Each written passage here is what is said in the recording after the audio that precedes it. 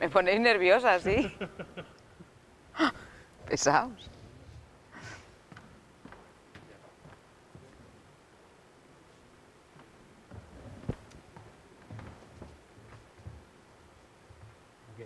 Sí. Eh, bueno, Susana, muchas gracias por, por atendernos. De nada. Vamos a empezar este baile. Muy bien. ¿Qué te aporta a ti trabajar en el teatro? Uy, todo. Es mi vida, no, yo no sé hacer otra cosa. Es una profesión que lo tengo clarísimo, que es lo que quería ser desde que soy niña y soy, soy feliz ejerciendo esta profesión, absolutamente feliz. Eh, ¿Cómo es su personaje en el? Pues mi personaje, com- como, ya te habrán contado mis compañeros, atraviesan es toda una vida. En realidad ellos son el mismo personaje en los, tres, en los tres actos, yo no. Yo soy el mismo personaje en el primero y en el segundo, y en el tercero soy la nieta de mí misma del primer acto. El personaje de Adela, en el primero y en el segundo acto, pues es una mujer muy alegre, muy vital, muy moderna, como porque esta situación insólita que viven tres y aceptan las diferentes clases de amor que se tienen entre ellos. Y pues una mujer que busca la felicidad a como sea, nada convencional, nada...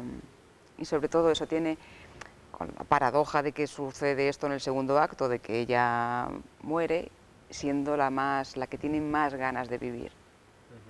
Y luego en el tercer acto eh, soy la nieta de Adela del primer acto y bueno, pues es una chica de ahora completamente contemporánea, pero que ha heredado un poco, tiene la memoria de toda esta historia, quiere muchísimo a sus dos abuelos y bueno, esa es la cosa.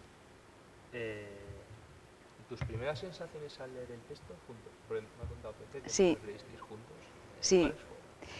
Mira, fue- tu- tuvimos, Pepe y yo, con esta función un... Mira que es famosa y todo eso, pero yo no la había leído.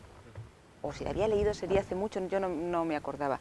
Y al volverla a leer tuvimos una especie de, flechazo, porque aunque está envuelta... Bueno, es, es, tiene mucha gracia, la gracia de estos autores de la otra generación del 27, este humor que a mí me gusta mucho, Jardiel, Miura y eso. Pero bueno, está envuelto en cierta, vamos a decir, en cierta cursilería.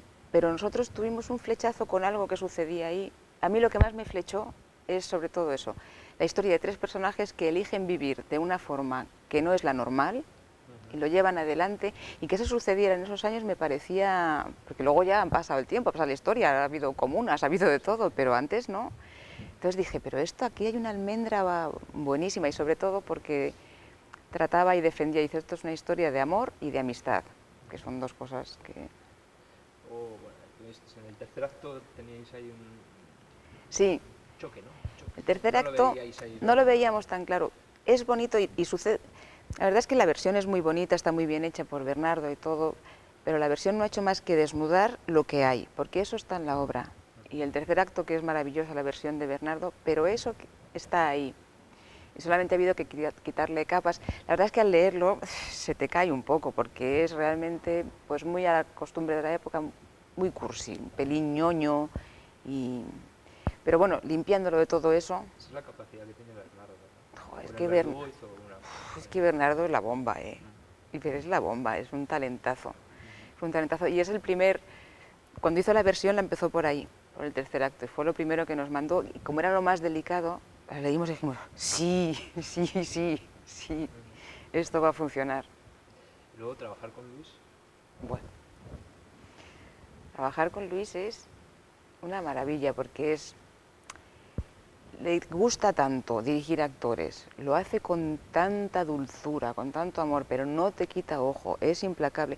Te sientes, te tiras a la piscina porque sabe, lo, ves, que él tiene, lo ha visto, tiene la idea, y no hay más que dejarse conducir con mano amorosa y firme, ahí te lleva, te lleva, y ha sido un proceso fascinante. Con, dos. Con mis compañeros, bien, muy bien. Ya, ya habíamos trabajado juntos entre nosotros en diferentes cosas. Yo a Carles le conozco hace muchísimos años, de los tiempos casi de la escuela de arte dramático. Con Pepe coincidido en dos montajes también. Muy bien, porque es que además este no es un reparto al azar, ¿sabes? Un director que haya llamado a un reparto, llegas a una compañía y te toca con quien te toca. Nosotros hemos elegido ser nosotros, entonces estamos muy cómodos y muy a gusto. No esto es lo que hemos querido, para bien o para mal, sí. Eh, ya por último te cambio el humor, ¿eh? ¿El qué? Que ahora al último te da a cambiar el humor un poco. Vale. Dame tu opinión sobre el 21% de IVA en el mundo del teatro. No tu opinión, sino cómo estás viendo tú que está afectando. Pues es, dra- es dramático, es, es una cosa horrible, es un error garrafal, es no... Y ya se está viendo que además que no obtiene ningún resultado, porque lo único que consigue es que la gente deje de ir. Es una situación absurda, es, es, una- es un hachazo a la cultura tremendo, porque, bueno, porque es que es... ¿Cómo está la situación? No se llenan los teatros, la gente no va, la gente no tiene dinero porque la mayoría de la gente no tiene trabajo. Tú no puedes subir la entrada. Los, teatros municipales no tienen para pagarte un caché. Tienes que ir a taquilla. De la taquilla que cobras tienes que quitar casi la cuarta parte. Vamos, es que es- no salen las cuentas, es imposible, es una gran... Eso que iba a decir.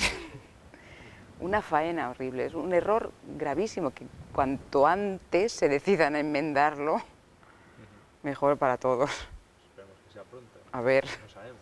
a ver. Vale, espera, un par de años. ¿Estamos? Un par de años.